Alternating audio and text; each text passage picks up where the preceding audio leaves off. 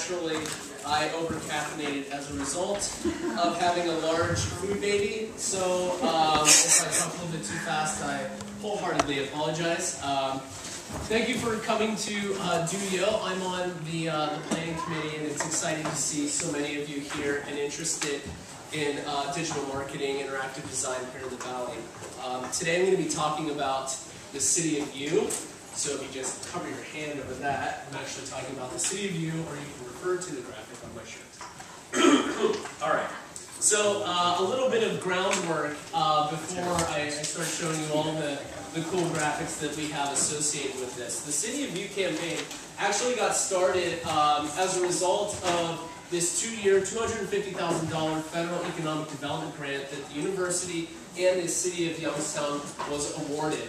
Uh, as part of that grant, there was a line item for marketing, and fortunately, uh, the university has a program, a mechanism through which they can uh, create uh, marketing design, and that is my Youngstown Design Works program, which is a student-run graphic and interactive design agency that particularly works with small businesses, startups, nonprofits, and community groups.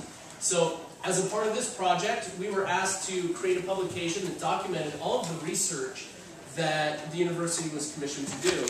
And um, through a series of, of interesting circumstances, we ended up with this, which was actually not a part of the scope of the project whatsoever. This publication was called The City of Youngstown Strategies for Economic Development. It's available online. It's like 250 pages. It looks nice, but it's a boring read, said with respect. Um, so I talked a little bit about DesignWorks. Um, we were commissioned $8,000 for the publication. Um, all of this money that was spent actually goes back into the DesignWorks program, which allows our students to purchase new technology or purchase, um, you know, app development equipment or go on some really great uh, experiences relative to, to their uh, chosen major. Um, so all that money went back into the design program, and we were able to start developing apps for our clients and offer much more robust set of uh, uh, services. Take a take a gander at this this blue baby here. Um, this is the seal of the city of Youngstown, which. Um, if, if you recognize the seal of the state of Ohio, it's practically the same thing. With some minor differences, the text. Okay? So the city actually had no cohesive, identifiable branding to speak of. All right, um, this is a problem. The lack of identity. A much needed rebranding was in store. With the publication of this book, we wanted to make sure that we had high quality aesthetics that you know represented the city well on a national level. And you know, unfortunately, we had to uh, we had to use um, this guy in, in the booklet, but that is no longer the case. Um, so we, we met the standards of the publication, um, but we didn't want that mediocrity, that perception of mediocrity to exist, all right? Not, no, it's not as mediocre, but, uh, you know, perception being what it is, you look at that graphic, you can't help but think, like, really? We couldn't come up with something? Um, so we had an opportunity to innovate and to innovate creatively, which is an opportunity that is ever so rarely afforded at this level, on a, on a citywide level. Okay? Uh, a little bit about me. I'm an outsider. I didn't grow up here. I didn't learn here. I don't live here. I live in Pittsburgh. Um, I have the, the good fortune of being able to uh, teach here and, and be involved in the community in many different ways. Um, but I'm the outsider looking in. And um, I'm still learning. And I'm learning every day. And what I'm learning is that this is a great place. I've known that for a while. But um, I'm invested in Youngstown, its citizens, in you, in this university, uh, to, as full as I can. And that's why I'm wearing the shirt. Um, and I wear it frequently. Um, don't come around me, it might smell a little bit. I'm, te I'm teasing, I'm teasing. It's, I washed it a couple weeks um, moral of the story, uh, I'm invested, and you can't rebrand a community you do not care about. Um, as much as I, you know, I would hate to see the city put out a, a request for proposals and it goes out to Cleveland or Pittsburgh to bring in some designers or creative ad agency to rebrand the city. They're only here for a few weeks uh, or a few days. They know nothing. Okay, they know nothing. Um, you can't rebrand a community you don't care about, and you can't truly rebrand a community you don't love. I don't live here, but I love it here. All right, uh, it's my home away from home. I just happen to own a house in Pittsburgh, but I don't love it. That makes sense. Okay. Yeah. Um, there are great people here, and through the journeys this campaign has taken me so far, um, I know now know many of them. Uh, I see a lot of familiar faces in this room. Um, if you're following along on Twitter uh, on the hashtag DOYOLive, you Live, you know I put out a call like, "Hey, I want to talk to you. I want to record a podcast with you." We have a City of You podcast where I get to go to strangers' houses and have a conversation with them, and I don't know anything about them at all. I don't know you, Vincent. Okay? Uh, I'm going to go to your house and we're going to have a conversation on your porch. And awesome. See? That's what I'm talking about. That hospitality, that willingness to participate. You don't get that everywhere. But uh, being able to, to meet total strangers and get their stories, very, it's just remarkable. I've, I've, throughout the podcast, and for those of you that may have listened to them, I've seen, you know, incredible highs where people have you know, accomplish their life's goals, or I've seen incredible lows where, you know, I spoke I spoke to a woman who's a survivor of domestic abuse, and it's just the extremes that you see in the middle are, are amazing. So um, I want to know everyone and connect them all together. So I'm glad you're all here connecting together. Sharing stories with each other about their lives. They all have something great to contribute, and we want to discover what those are because what you do here, what this community has made you, is going to make this community in the future. How you were raised here, what you're doing. Maybe you have a program. Maybe you support, uh, you know, underprivileged youth. Whatever it is, your contributions make this place greater, and that is the soul behind this campaign. So, um, this idea of, of building, you know, I, I use the phrase "build yourself up" or "building is contagious." The things that you do through your maybe it's your employer or maybe it's as a volunteer. Um, the things that you're doing are making this place better. You're building a better Youngstown, all right? And this idea of self, you know, of, of, of self-idealization. Who are you in the most ideal sense, okay? Well, in the most ideal sense for me, and I've worked through this, and it took a long time, I am a creative, okay, all right?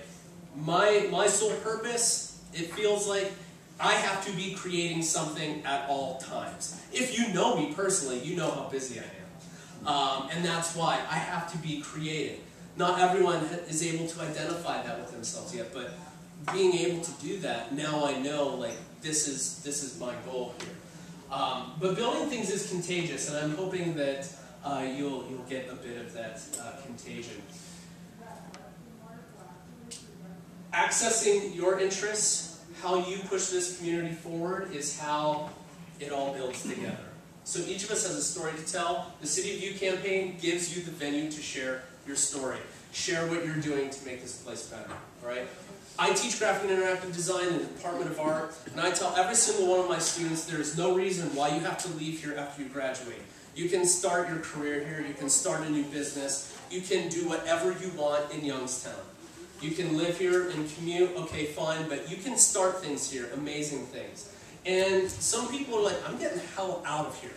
I don't want to deal with this. Like, I'm gone. Okay, go see the world. I've spoken to many people that have left and have come back uh, to do even greater things. But um, whether it's full of highs or lows, each one of you has something to say and about how Youngstown helped you or shaped you as a person, or how you are in turn shaping it.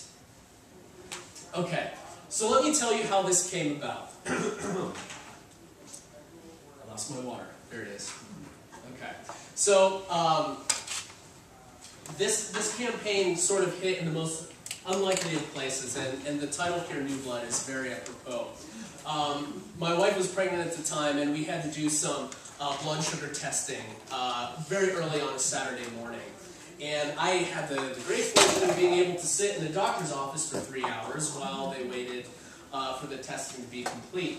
And um, I got to thinking about the connections between uh, even myself as, as a soon-to-be new father and the connections of, of family and people in the places that they live. And, you know, the people that live here are Youngstown's life force. It, you are its blood. And um, it is built from you. And I thought that was, uh, there was something beautiful about that concept. So, spiritual, nevertheless. But something really, really cool about that. Um, the people of Youngstown give the city its life. Their stories are the foundation of what Youngstown is built on and grows from. And without you, Youngstown would have no soul, no fighting spirit. So, um, I'm aware as an outsider of the perceptions that even you yourself, yourselves, excuse me, have of the city in which you live, work, play, and learn. And I'm over time, you know, I would love to be able to change those perceptions. Uh, fortunately, I think the folks in this room generally have a positive uh, uh, perception of, of Youngstown, but there are others that don't. I've spoken to them on the podcast, and it's hard hard, hard, hard to fight that cynicism. So, um, I'm going to show you some posters in a little bit that kind of break that cynicism. And, and I'll show you how you can apply here. But before I do that, I wanted to just introduce some of the graphic, um, the graphic elements of, of this particular campaign. So this, is, this brand mark is called Alpha. All right? This is actually the new brand mark that the city will use on practically everything.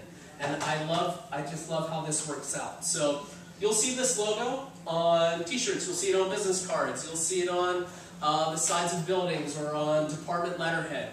The first actual place of implementation for this logo, anyone care to venture a guess? The seal. Garbage trucks. and I couldn't have been more excited. Uh, how cool is that? Like, I, I, I discovered that you know, you have the new trash bins with the seal on them, and I was a bit disappointed that I didn't get quite there in time to, to change that, but maybe in a few years you'll have this mark on it. But I just love the idea that it's just funny that it's on a garbage truck of all places. But I'm looking forward to seeing them on, on the police cruisers and the fire trucks and things like that. As a designer, um, as a creative, being able to have this, this broad level of impact is remarkable. Like, this is my legacy project. And I say that in the sense that, you know, don't mess with it, it's mine. it's going to transform, it's going to grow, and I have no control over that, and that's fine. But, like, this project, I feel like, is my masterpiece. And it's so cool to be able to say that. Um, so this is, this is alpha. You'll see it everywhere. And this is beta. This is the campaign narrative logo. So where this logo is going to be used on all official media, uh, letterheads, newsletters, etc., etc., etc. This is the part um, that you're going to see in the campaign that I'm wearing on my person. Okay, um, you're going to see this everywhere. In fact, when you go down to the M gallery later, you're going to see a lot of City You work in that exhibition. On the windows outside of that building, we have this laid out in vinyl. So make sure you get a picture of yourself in front of it. I already did. Uh, without hesitation. Okay. Uh, here's some variations on a theme as to what that branding will look like. A good brand is versatile. All right.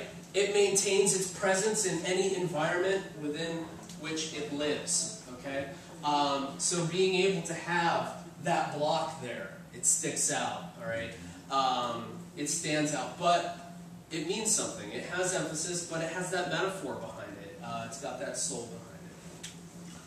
I want to talk about the neighborhoods. Um, some of the neighborhoods here, particularly the, the neighborhood groups, some of them have branded themselves. Uh, some of which my students actually had a hand in. Crandall Park North, do I have any residents? No? Uh, how about Old Furnace District? Okay. Um, well, if you didn't like it and you lived there, we can talk um, but uh, my students did the, the logos here on the left. Obviously, the ones on the right, uh, they did not do. But I don't want to replace what exists. I'm not coming in saying, you must use this new logo. No, I want the individual neighborhoods to maintain their own unique identity, um, their own unique spirit. I went out to Rocky Ridge uh, a week or so back to one of their uh, community meetings. And um, I got a lot of questions. a lot of interesting questions, uh, particularly uh, what's a designer, what do you do, and why are you here? Uh, um, but uh, I was able to, to communicate like, you know, we're building something special here, it will represent you, but you in turn equally represent it. Uh, without you, it has no purpose, it has no meaning. Um, so instead of replacing what exists, we want to work in tandem. So you'll notice that the City of Youngstown mark here on the right, uh, the YOU is in green. This mark, this brand mark, can change its color scheme relative to whatever neighborhood it's in. Do I have any Rocky Ridge folks? Okay, Molly. You will have this shirt, but in green and dark green interior lettering. Okay, so each neighborhood will have its own color representation inside of this scheme. You know, for for the the folks that strictly adhere to brand consistency, I might be driving you a little crazy, but uh, this is like some fun, in creative innovation that, that can play and can work. Here's some further variations on the neighborhood brands. Now, to be clear, I have not figured out a way to get these neighborhoods to identify their own color scheme, let alone agree to one that I may come up with for them.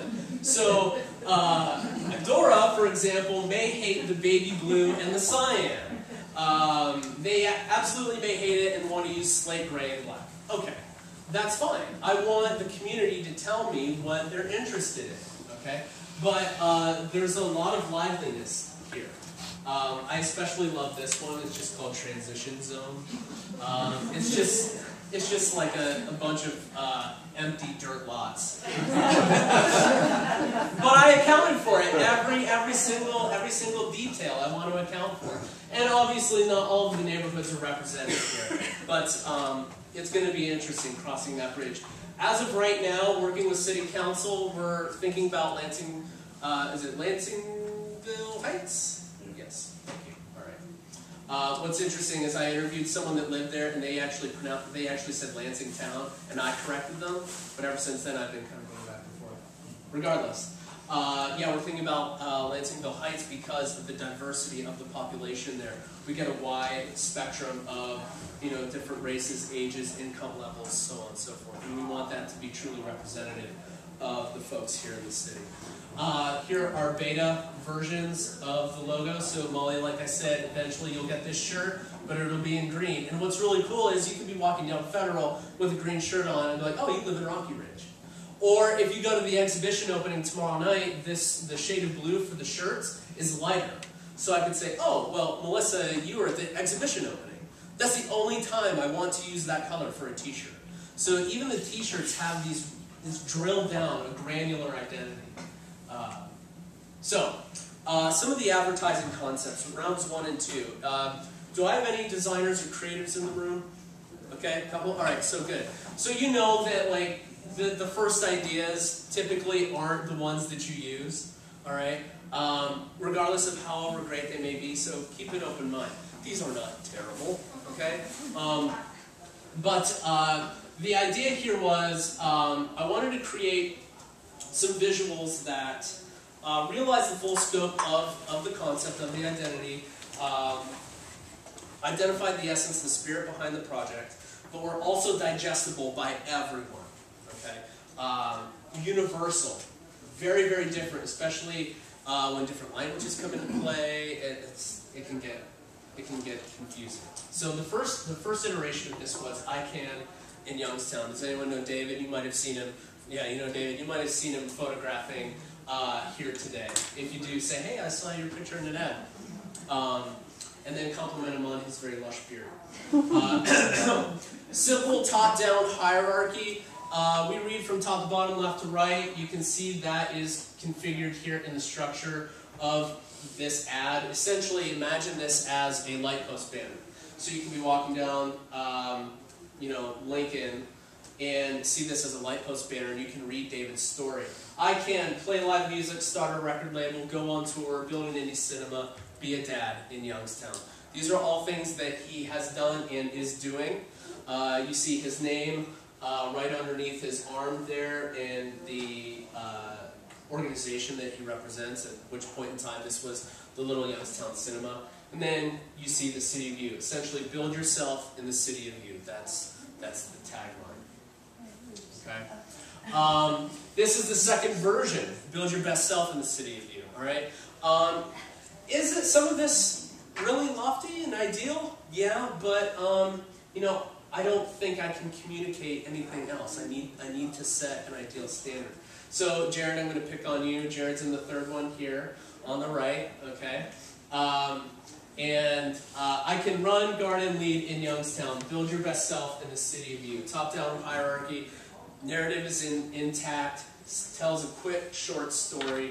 Um, so you're learning about people as you're walking down the street. Jared can study, design, create in Youngstown, so on and so forth. So Vincent, whatever your story is, your picture can go there, as well as three beats to, to your life's narrative, so to speak. The pitch. Okay, so we reached a point where um, we were ready to present this in a much more formal way to, to the mayor and city council. uh, surprising the mayor with a rebranding effort uh, drawn out of an approved publication design. I mean, it basically came from nowhere. Uh, Mayor McNally is certainly very welcoming to this opportunity, um, but he approached it uh, with respect but a cautious optimism. All right, um, I'm sure there have been many circumstances where opportunities like this have come to the fore and presented themselves. But uh, one of the things that I really appreciated with this process was we had a lot of conversations about it. All right, uh, we talked about the applications, we talked about the people it represented, the neighborhoods race, income, whatever. We talked about it. And um, it was not an overnight thing. This project has not launched officially. Uh, we're doing little bits and pieces here, but we're over a year and a half into it. Um, and one of the things that I really, really respected about this entire process was that we needed to get buy-in from everyone. All right, it, it felt like it was all or nothing. So if one person, you know, didn't really care for it, like we had a problem. So we did user testing, we did focus groups at the library, and it went over really well. And one of the great things about the focus groups was that they came with their own ideas that enhanced what we were already doing. Okay? I needed criticism. I was begging for criticism because at that point in time, I was only getting compliments. And that's not a good thing if you're a creative. If it's compliment, compliment, compliment, and there's no criticism, at a certain point, you don't know if what you made is really any good. Okay. Uh, the two focus groups were for the public, racially diverse, gender diverse citizen leaders. They weren't designers, they didn't have to be, but the campaign concept clicked with them. Um, and now they're buying in on, on a deeper level, and they want to see it implemented in their neighborhoods. So, furthering this buy-in, uh, we need to get trust and approval. Okay, uh, the City of You T-shirt is the one that I'm wearing. This is a first-gen T-shirt. Uh, this was made for a public presentation uh, of the rebranding effort at an economic action group that actually occurred at YBI, Youngstown Business Incubator. Uh, the shirts were a massive hit. Um, we want businesses to actually sell these, so we want to license this artwork out to the businesses. You pay for the t-shirts, you sell them, a portion goes back to feed the campaign and keep this thing sustainable. Um, The, uh, the funny thing about this is the day of that presentation, I was all ready to go, and we had everything in place, and then my wife's appendix burst at like 5 o'clock that morning. So I'm sitting in Passavant Hospital in the North Hills of Pittsburgh in a just brutally hot car, recording a screen presentation of not only the campaign, but the website as well, and somehow miraculously both of those things were able to be fit. I recorded both presentations, was able to upload them to Dropbox, have someone here in Youngstown, Nick Cretion, download them, get a computer to put them on, and get everything set up, and all he had to do was hit play. And unfortunately, I wasn't there, um, but it was still a big hit. And I like that because uh, that means that the success of the campaign is based on the ideas and not the pitch not the pitch. All right, the pitch is important, but if it's intuitive uh, and well received, then you know it doesn't get any better than that. The last step was for City Council to approve this work. Uh, they had to fully vet it. Um, we researched, discussed, critique with all of the major stakeholders, um, and then ultimately we went to City Council, and um, budget wasn't even discussed, we just needed approval for the ideas. Uh, eventually, we did get a budget passed, um, a, a, rather uh, large budget, so I'm hoping that you'll see this campaign implemented here for many years to come. Um, I want to talk about politics and, and relationships.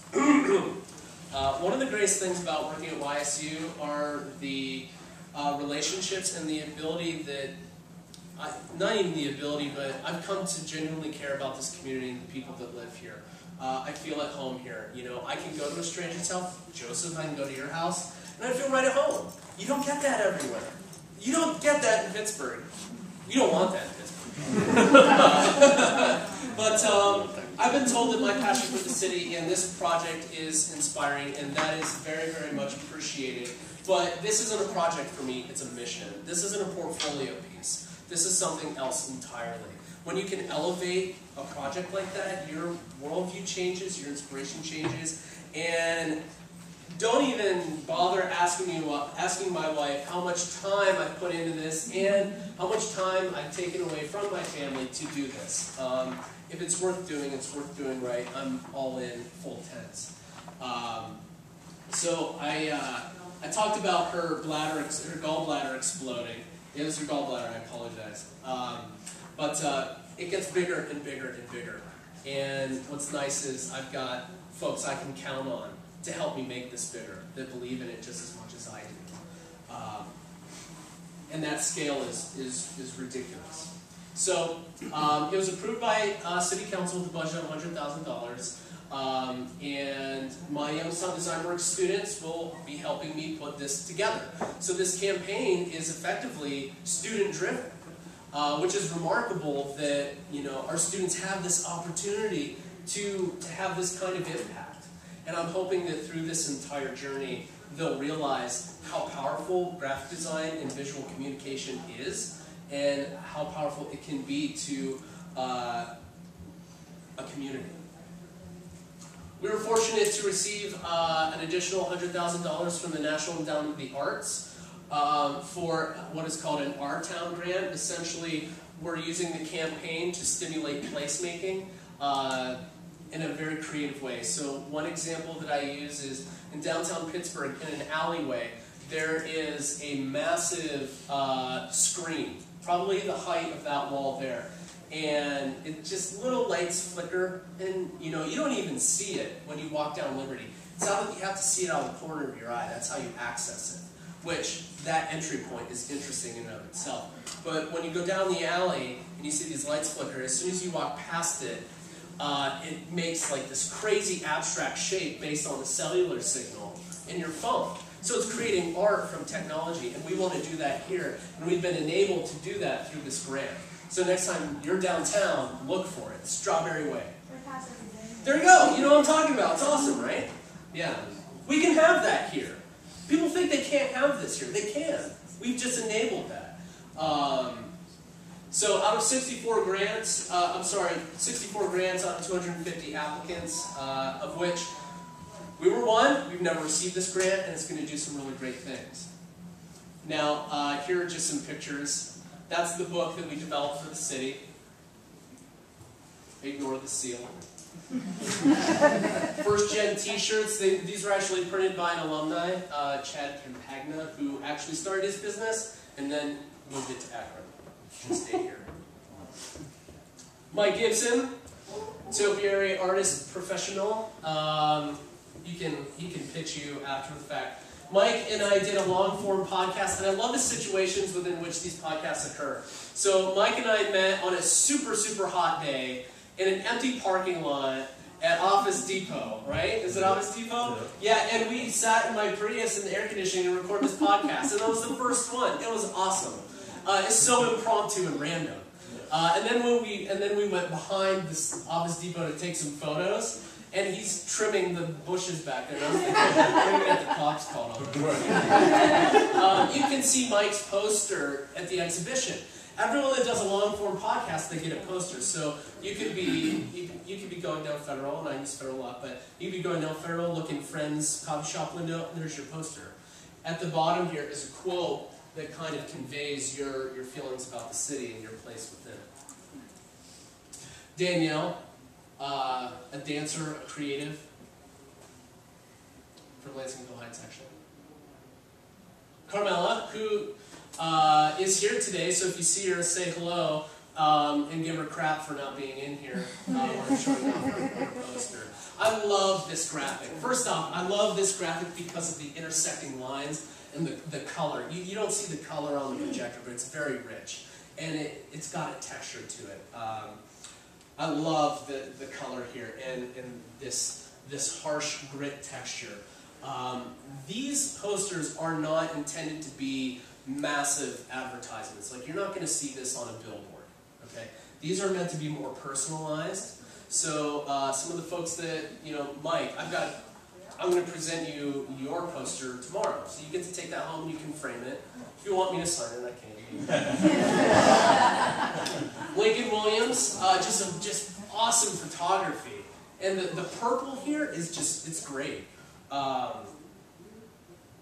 here are some shots of the show that you'll see later tonight. This is the vinyl lettering. So we're going to do live podcasts, live audience podcasting tomorrow night with John Howell. And there are going to be two bar stool level seats here, and we're just going to have a conversation, and you get to see how it plays out. So we've got a really nice backdrop. Uh, if you're interested in listening to the podcast, you can go to soundcloud.com slash City of You. I just recorded one today with Rob Palowitz, one of the premier sponsors of this event, 20 minutes long, and all we did was bullshitted about marketing and design. It's great. You nerds will love it. All right. Um, Mike, you know, we talked about a number of different things. Um, there, there are 29 unique podcasts on our on our station right now, but I have over 100 recorded. You can download the City of You app. Uh, it's free, Android and iOS. Just type in City of Youngstown. And uh, stay tuned because I'm going to be adding more content to it. Word to the wise, if you go to the show tomorrow and you download the app, the QR scanner is going to be able to, you're going to be able to scan QR codes of uh, basically their links to podcasts. So tomorrow from 11 a.m. to 1 p.m., we're doing a thing called Faces of the Future where we're photographing young millennial leaders. This was sponsored by a private citizen. And um, we're going to record short form podcasts too. So when I see Tyler's photo on the wall, I'm going to scan the QR code and then I can listen to your one to two minute story. Um, so it has an interactive component.